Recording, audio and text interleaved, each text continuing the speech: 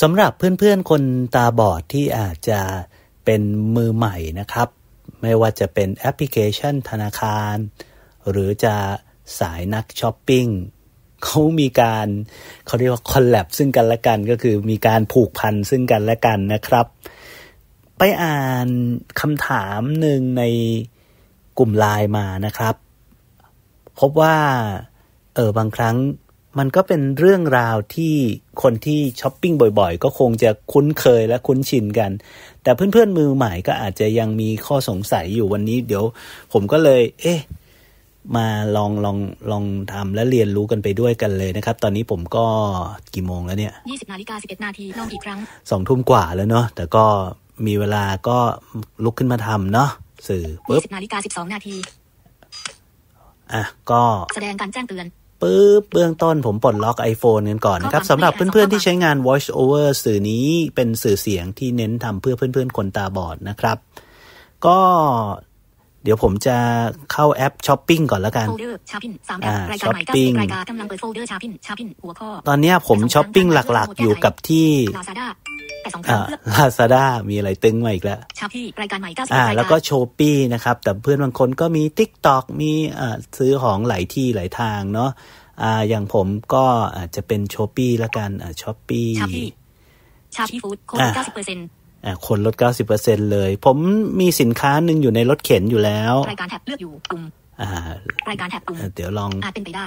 81คือผมจะมาที่แท็บที่สองก็ได้แท็บที่สามอ่าแท็บที่สองแท็บสุดท้ายก็ได้นะครับอันเนี้ยรายผมการอยู่ที่เลือกอยู่ปุ่มแท็บที่สองเขาเลือกอยู่นะครับ ตรงนี้ผมอาจจะไม่ได้ลงรายละเอียดแบบชัดเจน แต่ว่าจะพุ่งเป้าไปยังเรื่องของเวลาถ้าเราช้อปปิ้งแล้วผ่าน QR code นะครับ เพราะว่ามีเพื่อนๆ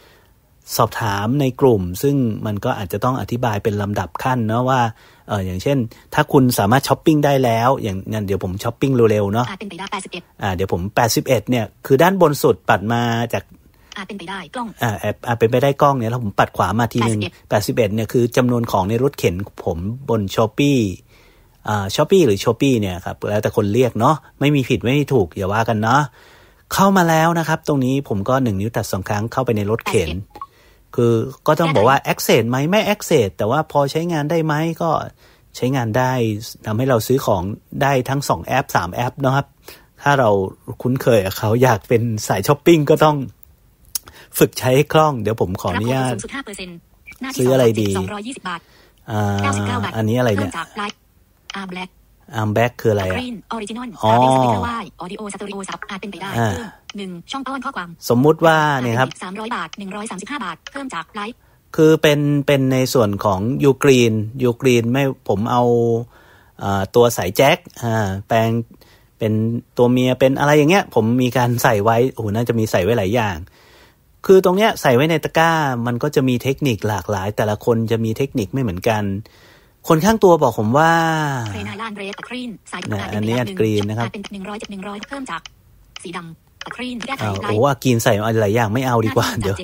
เออดอยคำเอาน้ำขียวอันนี้ดอยคำเหรอลือสี่สิบสามร้อยแปดสิบหนึ่งช่องอะต้อนข้อความอย่างสมมุติสองครั้งเพื่อแก้ไขเออเดี๋ยวเดี๋ยวอย่าเลยเดี๋ยวมันมันคือไปจองเขาไว้อะรับโค้ดรถใหม่กาแฟอ่าอันนี้อันนี้แก้ไขแท่นวางลูกชิลลิ่งรับใบวันและที่นิวสตาร์อันนี้เกี่ยวกับกาแฟเป็นอุปกรณ์แท่นวางลูกชิลลิ่งล็อก ซึ่งเป็นซึ่งเป็นอุปกรณ์ตัวหนึ่งอะแต่เขาเป็นแท่นวางราคาประมาณ400กว่าบาทเนี่ย เราจะอยู่ที่ถ้าอยู่ในรถเข็นเนาะบนบนโชปี้มันก็อาจจะต้องมีเทคนิคอย่างเช่นกาแฟดิสโมอันเนี้ยคือชื่อร้าน ผมจะมาโฟกัสที่ชื่อร้าน คนข้างตัวบอกว่า พอเจอชื่อร้านเนี่ยให้ปัดซ้ายย้อนกลับสองที ถ้าเราแก๊กแก๊กเนี่ยอ่าพอสองทีแก๊กที่หนึ่งไม่ไม่แน่ใจคืออะไร แก๊กที่สองเนี่ยถ้าเราหนึ่งนิ้วตัดสองครั้ง มันจะเป็นการเลือกของทั้งหมดในร้านนั้นเลยอะครับ เหมือนเหมือนถ้าเรา เพิ่มสินค้าในร้านนั้นลงตะกร้าตะกร้าไว้อย่างร้านร้านนี้ชื่อว่ากาแฟดิสโม Coffee is more เนี่ยผมผมปัดซ้ายมาสองที แล้วเมื่อกี้ผมเคาะไปแล้วนะหนึ่งนิ้วตัดสองครั้ง เขาจะไปเลือกของไว้ในตะกร้านั้นเรียบร้อยเลย แล้วเราก็แนะนำว่ารูปนิ้วมาที่ด้านล่างขวามือสุดเนี่ยปุ่มสวิตช์ปิดอะมีปุ่มสวิตช์ปิดใช่ไหมครับเนี่ยแล้วผมปัดขวามาทีหนึ่งชำระเงินหนึ่งเขาก็จะบอกว่ามีการชำระเงินหนึ่งเนี่ยครับผมก็หนึ่งนิ้วตัดสองครั้งเข้าไปชำระเงินก่อน อันนี้ อันนี้ไปเร็วหน่อยนะครับ ก็ปัดขวามาเช็คที่อยู่เนี่ยก coffee is อ่า ร้านค้าอะไรเมื่อกี้สิทธิโชคและที่อยู่ที่ไหน ร้านค้าชื่อนี้สินค้าแท่นวางลูก chilling เนี่ยกราฟสินค้าชื่อว่าอะไร อันนี้ผมไปเร็วหน่อยเนาะเริ่มจากไลฟ์ผมก็ปัดขวามาเรื่อยๆ ก็เพิ่มจากไลฟ์เอ่ออันนี้ผมเพิ่มจากการดู Shopee Live นะครับตัวเลือกสินค้าแท่นวางลูก chilling รอบอ่าแล้วตรงเนี้ยครับหลายคนก็อาจจะต้องเรียนรู้วิธีการไปเก็บพวกโค้ดนะครับต่างๆ ซึ่งตรงนี้ถ้าใครอยากให้เอ่อแนะนำการใช้โชชปี้บน iPhone แบบละเอียด มากกว่านี้ตามประสบการณ์การใช้งานของนายหมอคอมนะครับ ก็บอกกันได้ เพราะว่าอืมไม่แน่ใจเหมือนกันว่าเพื่อนๆซื้อของใน Lazada หรือ s h อ p e e มากกว่าก็เอ่อสำหรับมือใหม่เนาะสำหรับมือเก่าเนี่ย ผมว่าเรื่องพวกนี้สบายๆ449อ่าบาท X เนี่ย1เนี่ยสิราคาเท่านี้ x 1 คือ 1 ชิ้น ความคุ้มครองสินค้าในอ่าโค้ดส่วนลดร้านค้าเนี่ยโค้ดส่วนลดร้านค้า กดใช้โค้ด อ่าถ้าถ้าเราลองกดเข้าไปมีโค้ดก็กดนะครับ แต่ว่าอันนี้ผมว่าถ้าปกติมันถ้าโค้ดส่วนลดร้านค้ามีมันจะขึ้นให้อัตโนมัติอะเนาะตัวเลือกการจัดส่งเนี่ยครับสแ Standard Delivery ส่งธรรมดาในประเทศ เลือกตัวเลือกการจัดส่งก็ได้27บาท27 บาทจะได้รับในวันที่ 23 เมษายนอ่าและได้รับวันที่เท่าไหร่บอกด้วยประมาณฝากข้อความถึงผู้ขายอ่าหรือบริษัทขนส่ง ใส่ข้อมูลถึงผู้ขายหรือผู้ขนส่งได้ปัดขวามาคำสั่งซื้อทั้งหมด1ชิ้นอ่านี่ครับ476 บาทโอ้โห476 เลยเหรอรวมค่าส่งเนาะ ปัดขวามาโค้ดส่วนลดของ Shopee เนี่ยโค้ดส่วนลดของ Shopee เราสามารถเลือกใช้ได้นะครับ Shopee นี่ต่างจาก Lazada Lazada เนี่ยเขาจะใส่โค้ดส่วนลดของ Lazada ให้อัตโนมัติเลย แต่ Shopee เนี่ย Shopee เนี่ยเราจะต้องเอ่อกดเข้าไป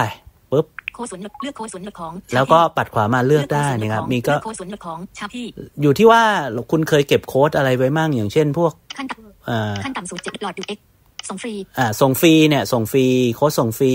อ่าอย่างเงี้ยเจ็ดหลอดขั้นต่ำสุดส่งด่วนใช้ได้ก่อนสามเนี่ยเงื่อนไขไม่สามารถใช้บัตรส่งฟรีอ่าส่งฟรีขั้นต่ำศูนย์บาทอย่างผมคุณก็ปัดสามารถปัดไปดูได้ว่าคุณจะใช้โค้ดส่งฟรี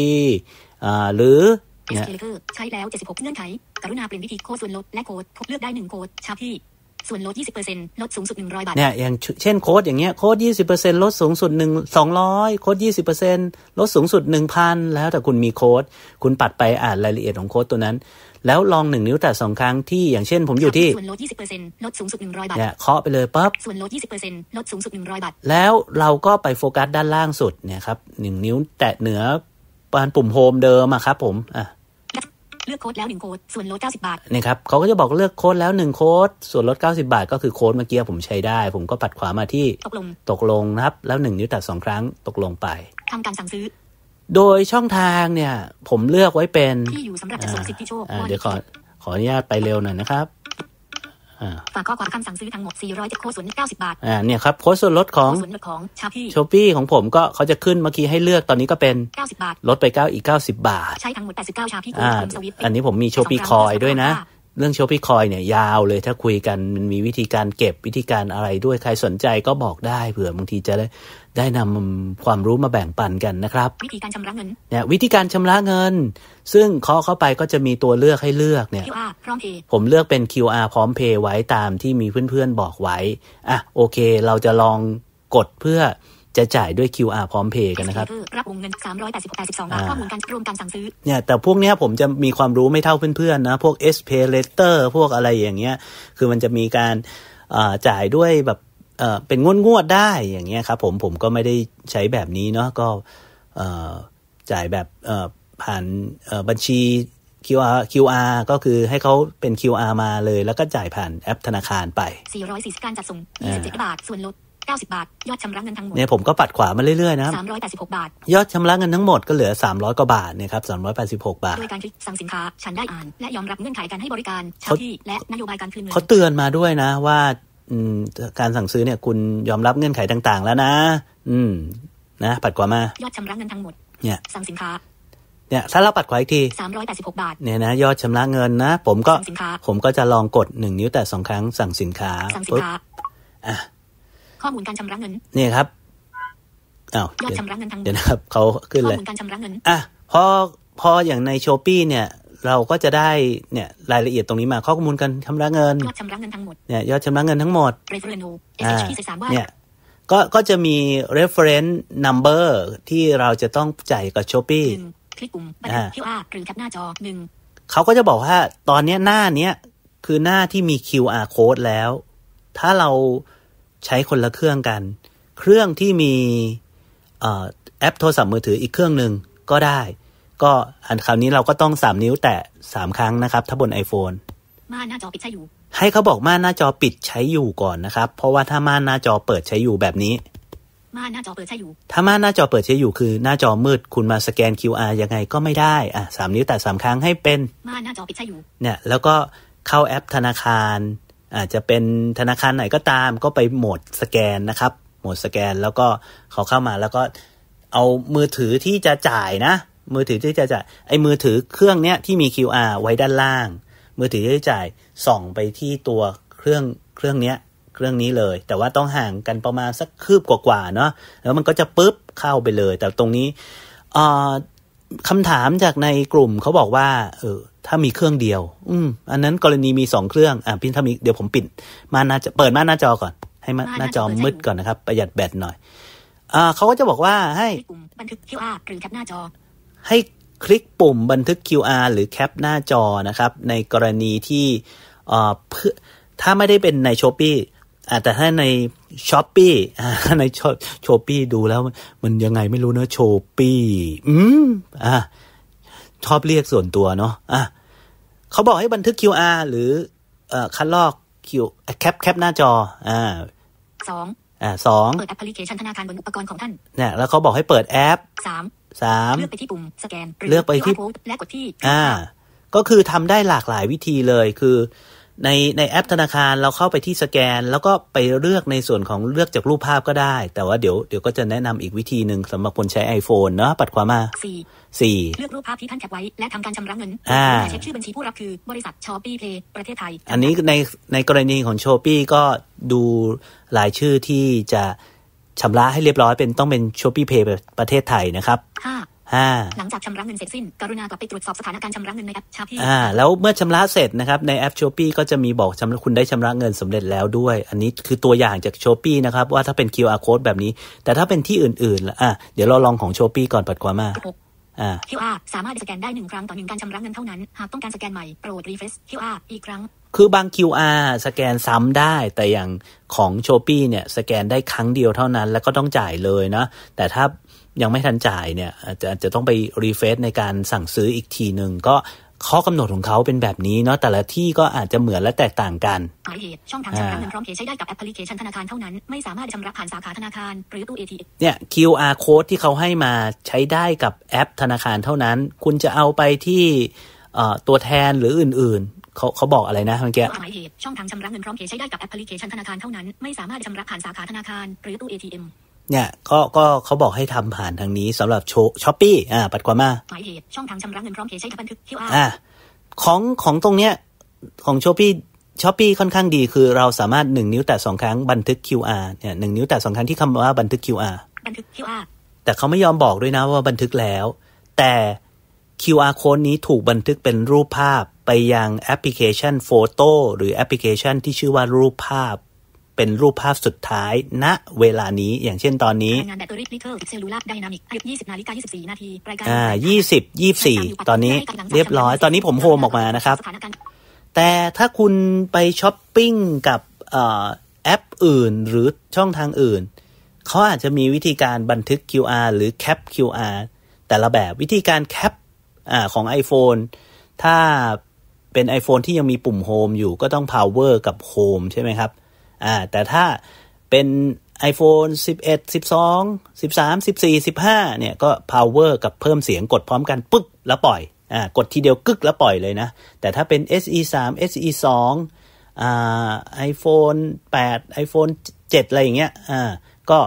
power กับ home กดปึ๊กทีเดียว กดไม่ต้องแช่นะ กดแป๊บเดียวปึ๊กพร้อมกัน แล้วก็แชะเลย เขาก็จะบันทึกไว้ในแอปพลิเคชันรูปภาพเหมือนกัน ผมเองนะครับอืมไม่ค่อยชอบใช้วิธีที่ Shopee แนะนำมา ส่วนใหญ่ผมก็จะชอบเข้าไปที่แอปพลิเคชันอ้าวเดี๋ยว home ออกมาหน้าที่หนึ่งจากสอง home ออกมานะครับอะกำลังปิดโฟกล้องแออ่าปรูปภาพ แอปพลิเคชันรูปภาพหรือ photo นะครับ ผมก็จะเข้าไปที่แอปพลิเคชันรูปภาพหรือ photo ปั๊บรูปอะภาพอัลบั้มของฉัน แล้วของฉันหัวข้อผมก็จะอยู่ที่ tabรายการแท็บเลือกอยู่อัลบั้มแท็บสามจากสี่อ่าแท็บอัลบั้มนะครับอ่าผมชอบอยู่ที่แท็บอัลบั้มด้านล่างเหมือนกันก็จะมีรายการแท็บคลังแท็บหนึ่งจากแท็บสี่คลังสำหรับคุณแท็บสองจากสี่อ่าสำหรับครุนเลือกอยู่ครุนเลยสามจากสี่แล้วก็เลือกอยู่อัลบั้มแท็บสามจากสี่ แท็บที่ 3 จาก 4 ก็คืออัลบั้มนะครับ ผมก็จะแนะนำว่า 1 นิ้วแต่สองครั้งเลือกตรงนี้ แล้วผมก็จะชอบแตะไปที่ด้านบนบนอัลบั้มของฉันหัวข้อๆแล้วปัดขวามาหาหัวปุ่มล่าสุดหนึ่งพันห้าร้อยเก้าสิบหกรูป เนี่ย ล่าสุดนะครับ ผมจะเข้าไปที่ล่าสุดครับหนึ่งนิ้วแต่สองครั้งล่าสุดรูปภาพวันที่ล่าสุดนะครับผมมีอืนาคมมครับ แล้วก็คราวนี้ผมก็จะแตะมาที่ด้านล่างสุดซ้ายมือรายการแท็บคลังแท็บหนึ่งจากอ่าสี่มาที่แท็บคลังนะครับ แล้วผมจะปัดซ้ายย้อนกลับเพื่อไปหารูปล่าสุดครับแท็ผบมเลื่อนแนวตั้งนะสามคสิรับบแปดหน้าหนึ่งพันห้าร้อยสามสิบสี่โอ้โหรูปเยอะเนอะไฟล์ปัดซ้ายอีกครับอ่าซ้ายอีกรูปภาพเวลายี่สิบยี่สิบสี่เนี่ยครับ รูปภาพที่เราบันทึกไว้นะครับ ตอน 20 24 เหมือนกันครับ ถ้าร้านค้าส่งมาผ่าน เอ่อ messenger ร้านค้าส่งมาผ่าน Line เป็น QR code คุณก็บันทึกรูปภาพจาก messenger บันทึกรูปภาพจาก Line ก็ได้อ่าแต่จริงๆ Line กับ messenger สามารถแชร์ไปได้เลย ก็คุณเปิดรูปภาพในในไลน์หรือผู้ภาพใน Messenger แล้วก็เลือกแชร์ อย่างในไลน์ก็แชร์ไปยังแอปอื่น แล้วก็เราจะแชร์ไปที่แอปธนาคารกัน อะเดี๋ยวผมจะขออนุญาต หนึ่งนิ้วแตะสองครั้งเคาะที่รูปรูปรูปภาพเวลายี่สิบยี่สิบสี่อ่าหนึ่งนิ้วแตะแตะสองครั้งเคาะที่รูปนี้รูปภาพล่าสุดปุ่มย้อนเออดังนั้นถ้าใน Line ใน Messenger ก็คงง่ายหน่อยเนาะเพราะเราแชร์ออกไปต่อได้เลยนะครับ ก็ไม่ต้องมาไม่ต้องมาบันทึกไว้ในอ่าแอปพลิเคชันรูปภาพด้วย แต่ผมไม่ค่อยได้ซื้อของผ่านพวก Messenger Facebook Line เท่าไหร่ ก็เลยไม่ค่อยได้รับ QR Code ผ่านทางนั้นนะครับ จะส่วนใหญ่จะซื้อผ่าน Lazada Shopee ซะเยอะนะครับ TikTok ก็ยังไม่เคยเลย อ่า เสร็จแล้วก็แต่ที่ด้านล่างซ้ายมือสุดจะมีปุ่มแท็บเครื่องมือแชร์ปุ่มเนี่ยครับ คุณหาปุ่มแชร์ให้เจอแล้วหนึ่งนิ้วแตะสองครั้งปุ๊บเลือกรูปภาพอยู่หนึ่งรูป แล้วก็แตะตรงกลางหน้าจอข้างครึ่งล่างหน้าจอเมลปุ่มอ่าเนี่ยครับข้อความปุ่มก็จะมีแอร์ดราฟปุ่ม AirDrop แล้วคุณก็ปัดขวามา ข้อความปุ่มข้อความปัดขวาไปหาแอปพลิเคชันธนาคารนะครับ หลายคนเอ่อที่ใช้งานกันอยู่ก็มี Next มี KPass เอ่อแต่ว่าในในใน ในที่เขาเนี่ยที่เขาถามมาเขาใช้ KPass เดี๋ยวผมลองปัดขวามาที่ปุ่มเคพัสปุ่มนี่ครับ ปัดขวามาจนเจอ KPass แล้ว พอเจอ KPass แล้วหนึ่งนิ้วแต่สองครั้งเขาจะเข้าไปหน้าสกอ่าหน้าชำระเงินด้วย QR code ทันทีเลยหนึ่งนิ้วแต่สองครั้งปุ๊บอ่า มาไหมย้อนกลับนี่ครับ KPass ย้อนกลับครับ เราปัดขวามาชำระเงินเนี่ยจะเข้ามาสู่หน้าชำระเงิน แล้วทาง s h อ p e e บอกว่าอะไร เราต้องดูชื่อผู้จ่ายใช่ไหมว่าต้องเป็น s h o p e e Pay เนี่ยเลือกบัญชีเครื่องหมายทับบัตรหมายเลขาวเนี่ย x x x หน้าที่หนึ่งจากหนึ่งสามารถได้กลับได้ก็ก็ถ้าใช้บัตรขึ้นเรามีบัญชีเดียวก็ไม่ต้องเลือกนะครับอันเมื่อเมื่อกี้ผมขออนุญาตปัดเร็ว x x x เนี่ยครับไปยังสินค้าเครื่องหมายทับบริการเนี่ยไปยังสินค้าบริการก็คือบริษัทชอปปี้เพย์เนี่ยโชปีเพย์ประเทศไทยอ่าเนี่ยครับรหัสตั้งอีกหนึ่งปัดขวามาเนี่ยก็จะมีรหัสอ้างอิงตรงนี้ก็เราก็เอ่อฟังไว้ แต่ว่าไม่ต้องเข้าใจว่าตัวเลข เพราะมันเป็นตัวเลขเฉพาะของแอปเขาอะครับผมเอชที่สื่อสารว่าเนี่ยี่ยสิบหกรหัสอ้างอิงสองเนี่ยศูนย์หกเก้าจำนวนเนี่ยละจำนวนกี่บาทสามร้อยแปดสิบหกจุดศูนย์ศูนย์นี่ช่ครัอบงบาทเนี่ยค่าธรรมเนียมมีไหมปัดขวามาเทโพนชำระด้วยคะแนนเทเนี่โพยนบาทเทโพชำระด้วยคะแนนยกเลิกปุ่มเอาไม่มีบอกเหรออ่าเอาไม่เป็นไรมันเนี่ยต่อไปปุ่มถ้าเรากดต่อไปปุ๊บปั๊บต่อไปอ่า ก็ย้อนกลับปุ่มก็จะมาหน้ายืนยันแล้ว ก็รายละเอียดเหมือนเดิมอะครับ เราก็ต้องปัดขวาอ่านให้อ่านให้ครบอ่านอ่านให้ชัวร์ว่าจากบัญชีเรานะ ไปโชปี้เพย์จำนวนเงินเท่านี้นะ อ่า แล้วเนี่ยยืนยันปุ่มถ้ากดยืนยันเมื่อไหร่อ่าการตั้งค่าของ QR code บางอัน ถ้าชำระไม่ไม่ถึงร้อยเนี่ยก็ไม่ต้องใส่รหัส แต่รหัสของแอปธนาคารนะครับ แต่ว่าถ้าชำมันเยอะเกินหลายร้อยก็ใส่รหัสก็เรียบร้อยอ่าแต่ตอนนี้ครับเพื่อนๆครับ เดี๋ยวบอกอีกเทคนิคหนึ่ง มาถึงตอนนี้แล้ว เงินไม่พอ หรือเมื่อกี้ เออไม่ได้ตั้งใจ คือมันใกล้สิ้นเดือนแล้ว เออ เดี๋ยวไม่พอ ไม่พอกิน ถึงสิ้นเดือน เอาหยุดก่อน อย่าเพิ่ง อย่าเพิ่งโฮมออกมา แล้วเราจะไปยกเลิกการซื้อเมื่อกี้ยังไง เพราะ เออก็เก็บเงินปลายทาง เออแล้วเนี่ยเราเพิ่งเรา เรายังไม่ได้ชำระเงินหนึ่งหนึ่งอันเนี้ยเอ่อ QR code เนี่ยคือคือเราเดี๋ยวเดี๋ยวปิดแอปแอปธนาคารไปก่อนเดี๋ยวเผลอไปยืนยันอะปิดเคพัทก่อน แต่ว่าเราเราไปกดเราไปกดจองสินค้านั้นไว้แล้ว แต่ทางร้านรอเราชำระเงิน แล้วมันยังเพิ่งผ่านไปประมาณห้าหกนาทีเท่านั้น เราเรายังพอที่จะยกเลิกการซื้อเมื่อกี้ได้ เพราะว่าเราอาจจะอยากได้ในตอนนั้น แต่พอมามีเวลา คิดตึกตองอยู่นาน อยากจะทำใจด้วยคำพูดหนึ่ง มันพอกิน พอซึ้งหนึ่งสละเปาหรือเปล่า อืมใช่ปะไม่ใช่ละ ก็ไปยกเลิกดีกว่า แล้ววิธีการยกเลิกในโชปี้ล่ะ เออทำยังไงอะ เออนะโฟลเดอร์ชาพินสามแอปรายการใหม่หนึ่งนิ้วแตะสองครั้งเข้าโฟลเดอร์ Lazada Shopee เข้าโชเข้า Shopee เข้า Shopee Shopee food โค้ดลดจัดอ่าผมผมมีการเคลียร์แอป Shopee ออกไปเรียบร้อยแล้วนะครับ แต่ว่า เออเมื่อกี้ เอาลองมาทำกันสดๆ ไปด้วยกันเลยแล้วกัน เพราะว่าผมก็สาธิตในการลองกดซื้อสินค้าด้วยการจ่ายผ่าน QR code ไป แต่ว่าก็อันที่จริงก็ นี่มันใกล้สิ้นเดือนแล้วครับ วันนี้ยี่สิบเอ็ดแล้วเนาะก็เงินอาจจะไรหรอ อย่าเพิ่งซื้อแล้วกันเนาะอย่าเพิ่งซื้อแล้วกันครับ รายการแท็บปุ่มเราก็มาที่แท็บสุดท้ายกันครับนะห้าสิบแปดเนี่ยปุ่มปุ่มอาจปุ่มปุ่มอาจเป็นไปได้คนอ้าวแล้วปุ่มเนี่ยอาจเป็นไปได้คนเนี่ยอาจเป็นไปได้คนคือแท็บสุดท้ายด้านล่างขวามือสุดแล้วหนึ่งนิ้วแต่สองครั้งรายการแท็บปุ่มอะรายการแท็บครับ คือมันอาจจะไม่ access แต่เราก็จะ จะยังพอเรียนรู้แล้วก็ลองไปด้วยกันอะกรุณาตั้งค่าชื่อ่าเพศแล้วก็ไปที่ด้านบนสุดครับสี่นิ้ว แตะครึ่งบนหน้าจอหรือ แตะที่ด้านบนบนๆแล้วปัดขวามาอาจเป็นไปได้การซื้อของฉันอ่าการซื้อของฉัน ดูประวัติการซื้อ ดูประวัติการซื้อเนี่ยหนึ่งเก้าอ่าที่ต้องชำระอ่าที่ต้องที่ต้องชำจัดส่งอะที่ต้องชำระนี่นี่นี่ที่ต้องชำระครับหนึ่งนิ้วแตะสองครั้งที่ต้องชำระดีกว่า การซื้อของฉัน หรือจริง ๆ ก็เป็นการซื้อของฉันก็ได้อ่าอ่าหรือผมแต่แต่ผมแต่เราเนี่ยจะเป็น เอ่อกำลังจะต้องชำระอะปัดขวามาสามสิบสี่ปัดขที่วาต้องชำระเนี่ยปัดขวามาที่ต้องจัดส่งอ่าที่ต้องได้รับขวามาสำเร็จขวามายกเลิกแล้วขวามาการคืนเงินเคขรื่วามากาแฟอิสโมนี่ร้านนี้เมื่อกี้เลย Coffee Eat More ที่ต้องชำระเนี่ยแท่นวางลูกชิลลิ่งรับใบกวันและที่เนเวอร์สตาร์ชนิดฟูดเกรดลูกอ่าชิลลิ่งรับนี่นี่อันนี้เลยซีซันติเมตเนี่ยเดี๋ยวขออนุญาตเคาะเข้าไปที่สินค้าตัวนี้เลย Chilling Lock ตัวนี้เลยเคาะเข้าไปเลยแท่นวางลูกอัดรายละเอียดคำสั่งซื้อจะจะยกเลิกได้ไหมลุ้นไปด้วยกัน เสียวไม่มีเงินจ่ายช่วงนี้ ปัดขวามาอาจเป็นไปได้วิธีใช้อ่าขวามารอการชำระเงิน เนี่ยเขาบอกรอการชำระเงิน เพราะเราเลือกชำระผ่าน QR code นะครับปัดขวามากรุณาชำระเงินด้วย QR พร้อมเพย์ภายเนี่ในยสองศูนย์สี่สองพันยี่สิบสี่ยี่สิบยี่สิบอ่าชำระได้สั่งซื้อโดยอัตโนมัติเนี่ย QR code ของ s h o p e e ค่อนข้างดีคือเราจอง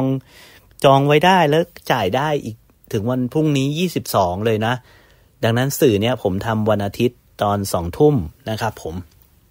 ก็ แต่ว่าไม่เอาอะอืมไม่เอาอะจะยกเลิกตอนนี้เลยลองปัดขวาไปดู ขวาอีก อันนี้ทำไมแก๊กนี่คืออะไรอะไม่รู้นะเพื่อนๆมันไม่อ่านอะปัดขวาที่อยู่ในการจัดส่งเนี่ยที่เปลี่ยนอ้าวฮะอ๋อเราสามารถเปลี่ยนที่อยู่ตรงนี้ได้ด้วยเผื่อเอาไว้ฉุกเฉินนะนี่เปลี่ยนที่อยู่ได้ด้วย บางทีอุ้ยกดส่งผิดที่อยู่เปลี่ยนยังพอมาเปลี่ยนได้สิทธิโชควอเนี่นยบวกหกสิบหกอ่าช่องทางการชำระเงินเปลี่ยน QR พร้อมเพย์ กาแฟอิสโมไปยังร้านขับแท่นวางลูกแท่นวางลูกจิ X หนึ่งสี่ร้อยสี่สิบเก้าบาท เดี๋ยวลองหาก่อนนะครับเพื่อนๆ ผมก็ปัดขวามาเรื่อยรวมการสั่งซื้อๆเนี่ยสามร้อยแปดสิบหกบาท เขาก็จะมีรายละเอียดของที่เราสั่งอะ เออ แล้วปุ่ม เอ่อ ยกเลิกมีไหม ลุ้นไปด้วยกัน หมายเลขคำสั่งซื้อ นี่สองสี่สกัดลอก อ่า คัดลอกเลย หมายเลขคำสั่งซื้อด้วย เวลาที่สั่งซื้อ เวลาที่สั่งซื้อยี่สิบเอ็ดศูนย์สี่สองพันยี่สิบสี่ยี่สิบยี่สิบอ่า วันวันนี้ยี่สิบเอ็ดเดือนสี่ตอนยี่สิบเอ็ดนาฬิกาสี่นาทีที่ เรากดไปเหรอ ติดต่อผู้ขาย ติดต่อผู้ขายก็คืออาจจะเออสอบถามอะไรหรือเปล่า ยกเลิกคำสั่งซื้อ นี่นี่นี่นี่ชำระเงินแถบเลื่อนแนวตั้งอ้าวหายเลย เดี๋ยวนะเพื่อนชีวิตแท่นวางลูก X สี่รอบรวมกับสามร้อยหมายเลขคำสองสกัดลอกๆต่อจากติดต่อผู้ขายเมื่อกี้มันมีติ้งมันเลยเด้งเวลาที่สั่งซื้อยี่สิบเอ็ดติดต่อผู้ขายยกเลิกคำสั่งซื้นี่นี่ครับ ติดต่อผู้ขายยกเลิกคำสั่งซื้อ ยกเลิกคำสั่งซื้อครับหนึ่งนิ้วแต่สองครั้งที่ยกเลิกคำสั่งซื้อยกเลิกภาพถ่ายหน้าจอ เออ นะครับ ผมก็เป็นความรู้ทิปเทคนิคกันไปด้วยว่าอืมบางที เอ่อเกิดฉุกเฉินขึ้นมาทำยังไงก็ผมใช้เป็นแบบไหน อยากที่จะ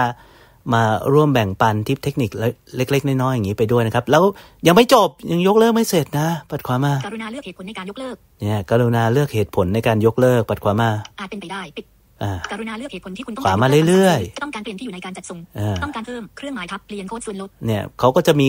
เหตุผลน่ะ ต้องการแก้ไขรายละเอียดคำสั่งซื้ออ่าปิ่นขั้นตอนการชำระเงินซับซ้อนเกินไปอ่าเจอสินค้าเดียวกันที่ถูกกว่า ไม่ต้องการซื้อสินค้านี้แล้วนะครับอืมเราก็ตรงๆครับไม่ต้องการเหรออื่น เอาอื่นๆๆอะไม่ต้องการเจอสินค้าเดียวกันที่ถูกไม่ต้องการซื้อสินค้าอ่านี้แล้ว ไม่ต้องการซื้อสิผมนค้านี้ผมแล้วเลือกไม่ต้องการซื้อสินค้านี้แล้วนะครับอื่อ่านๆยกเลิกคำสั่งซื้ออ่ายกเลิกคำสั่งแล้วก็ซื้อปัดขวามาจนสุดก็จะเป็นยกเลิกคำสั่งซื้อครับหนึ่งนิ้วแต่สองครั้งได้เลยครับการซื้อของฉัน อ่าตอนนี้ 34 ที่ต้องชำระที่ต้องจัดส่งที่ต้องได้รับสำเร็จยกเลิกแล้ว การคืนเงินเครื่องหมายเดี๋ทัยวบยกเลิกแล้ว คราวนี้เราเขาจะกลับมาสู่หน้าหน้าแท็บสุดท้ายเหมือนเดิม เราก็ปัดมาที่คำว่า ยกเลิกแล้วยกเลิกแล้วครับหนึ่งนิ้วแต่สองครั้งยกเลิกแล้วเข้าไปดูซิการคืนเงิน Coffee เนี่ is ย no ยกเลิก แท่นวางลูกชิลลิ่งราฟเนี่ยยกเลิก สถานะก็เป็นยกเลิกเรียบร้อยนะครับ Coffee is no เนี่ยยกเลิก เมื่อกี้สถาน Coffee Eat More Coffee is no สถานะตอนแรกรอการชำระเงิน แต่ตอนนี้สถานะเปลี่ยนเป็นยกเลิก ยกเลิกเรียบร้อยแล้วนะครับ ก็นำความรู้มาฝากกันกับวันที่ เออวันที่อะไรดี อากาศร้อนจัง เพราะว่าตอนเนี้ยอย่างหนึ่งเลยครับเผื่อเพื่อนๆในอนาคตนะครับ อยากจะทำสื่อ อืม คนทำสื่อก็ร้อนเหมือนกัน แต่ว่าการที่อยากให้สื่อออกมาแล้วไม่มีเสียงรบกวน ก็อาจจะต้อง เออปิดพัดลมหน่อยเนาะก็เอาเป็นว่าก็แบ่งปันทิปเทคนิคไปด้วย ใครที่อยากจะมาเป็น podcaster YouTuber TikToker หรือ จะไลฟ์ผ่าน Facebook หรืออะไรก็ตาม เรื่องเสียงรบกวน เรื่องพัดลมก็เป็นสิ่งสำคัญ เออ บางครั้งก็อาจจะช่วยได้เนาะแต่ว่าออวันนี้ก็นำความรู้มาฝากกันกับสีโชค บริการหมอคอม1414พลัสถ้าเห็นว่าดีมีประโยชน์ฟังมาถึงตรงนี้แล้ว ก็ช่วยแชร์ต่อบอกต่อว่าความรู้ดีๆ ฟังได้ที่1414พลัสขอตัวลาไปก่อนครับ สวัสดีครับผม yeah.